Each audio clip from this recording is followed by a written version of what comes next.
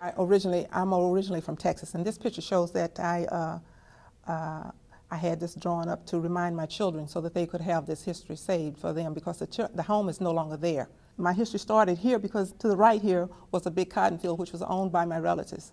And I wanted to pick cotton one day, and I was only about eight years old. And therefore, I, like the cotton that's here, I, uh, I was given a croaker sack, and in that croaker sack, I was able to place, you know, I was only seven, eight years old, and they put, my auntie, she put a, she placed a scrap on me from a man's uh, necktie. She put it on this croaker sack, and that's how my history, you know, I became interested. In, and from then on, we were always picking cotton. And I didn't realize my history because my auntie, she, when she gave me this croaker sack, she didn't tell me anything about my history. I cried because there was injustice to my ancestors. And the shackles is still on today. We have lost our identity. This country, America, was built on the backs of slaves. It became the wealthiest nation on the face of the planet Earth because of the slave trade and the peculiar institution of slavery. Imagine uh, where you work. If you were to collect the checks of every other employee for the next 24 months, no one else got money, but you got their money. They did the labor. At the end of that 24 months, you'd be pretty well off. Imagine a people in the millions working for 310 years with absolutely no income, no compensation for their labor. I saw pictures and the images that they put in the books, and it just didn't seem right the way that they portrayed them and how they looked. They were proud people, even in the fields that they worked.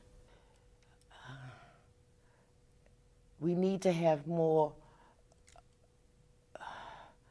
uh, education, uh, education needs to enhance, be enhanced with more African American history and just the true history of the United States should be incorporated into some of the textbooks as a curriculum. Not just one teacher doing this on their own, but it should be something that they've got to have. And I think this is why they're just lost because they're just like wandering because they have no anchors um, reading the records of many of the slave owners, uh, how they sold many of our ancestors with the cows and the pigs, the spoons and the forks, and looking at a human being being sold for $900. Uh, that's not even something that some of us can uh, visualize in the wildest dream of our uh, worst nightmare, but it is a nightmare that uh, many Africans in America uh, had to deal with and still have to deal with. And to think about your relatives, once you really know, to think about your relatives in, in the, on the slave ship. Once you know, you really know that that actually happened to your relatives. And it's a fact because you really know it has really changed my outlook, you know, on um, on uh, on everything. It's important.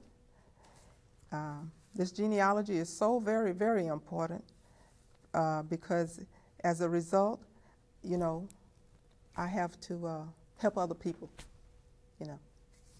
It's a necessity because it will give, it will increase their self-esteem. Right now, they, oh, the, their immediate parents may not be as exactly what they want them to be, but when they realize from where they were descended and how strong their older ancestors were, they were strong physically, emotionally, to survive the, the trip over here. And uh, they persevered through all of this.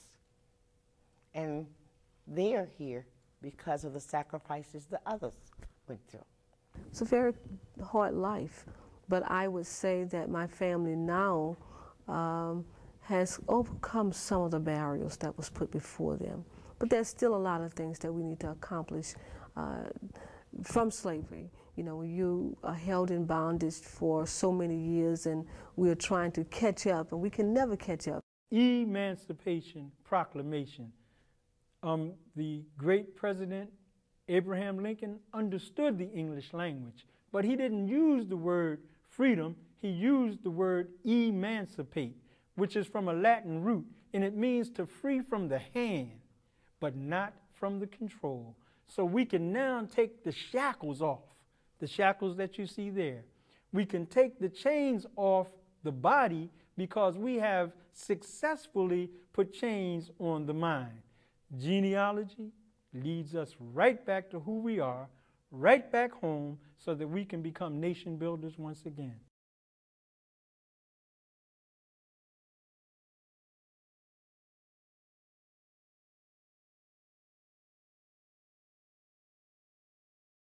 Genealogy is not a hobby, it is a necessity. It's who you are and everything that you hope to be.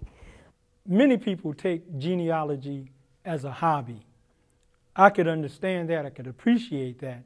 But when it gets to the Africans in the diaspora who've been cut off from their history, their language, their culture, their folkways, etc., then genealogy becomes vital in finding out exactly who we are. Marcus Garvey said, A people without their history is like a tree without roots.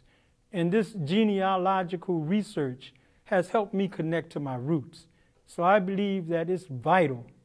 Not only does it give us uh, self esteem or help to build that self esteem, but it helps us to be able to look every other people on the planet in the eye and speak on a one on one basis about who we are and what we've accomplished. There was some question about um, genealogy being a hobby. You know, no, it's not a hobby. It's definitely not a hobby. And uh, because uh, a hobby is something that, uh, that you do for relaxation, for pleasure.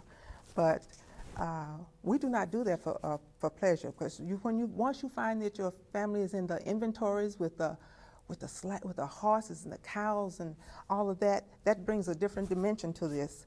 For the young people, uh, believe in yourself, uh, look at where you come from and, and, and deal with uh, where you are today and bring yourself up to the standards that our ancestors have set for us. Um, what I, have done, I was into genealogy prior to knowing I was into genealogy. So I think that a lot of the young people now, uh, they don't know their history and, and because they don't know their history, they don't appreciate where they are and how they got there because no one is telling them, telling them the truth. And maybe some of us choose to forget, but I can't forget.